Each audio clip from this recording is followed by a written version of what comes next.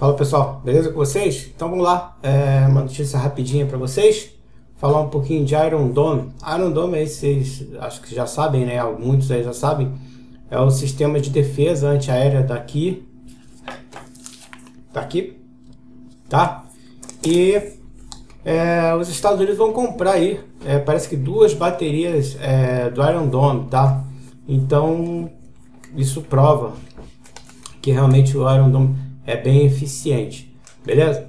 É um sistema de defesa antiaérea criado aqui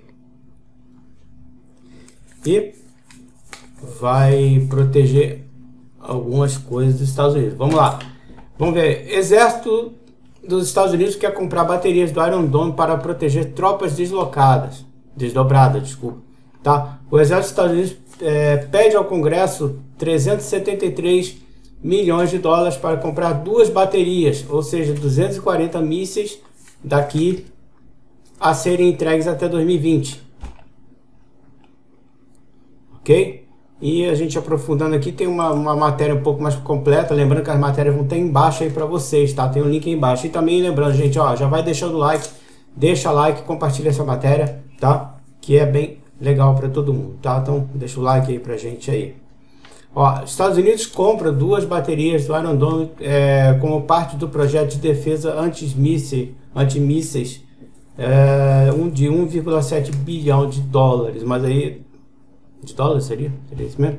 Vamos ver, sistema, sistemas a serem implantados nos, no próximo ano de 373 milhões de dólares. A compra pode levar a um acordo muito maior se o sistema é, israelense se mostrar capaz de derrotar ameaças mais complexas do que foi originalmente projetado para. Como esse país aqui sempre vai atualizando as coisas, eu acho que é capaz de atender e futuramente vão ter vendas muito, é, de repente, expressivas aí para os Estados Unidos, tá?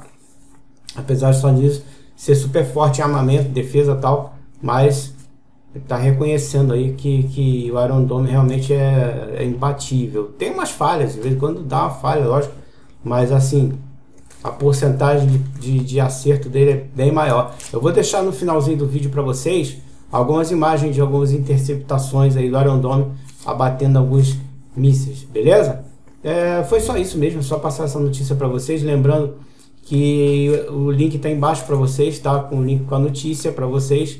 Você entra direto no site realidaderenense.com.br e você pode ler as duas matérias na íntegra, tá?